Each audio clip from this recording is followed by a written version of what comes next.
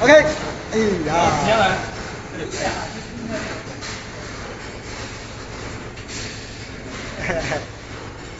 Ồ, cái này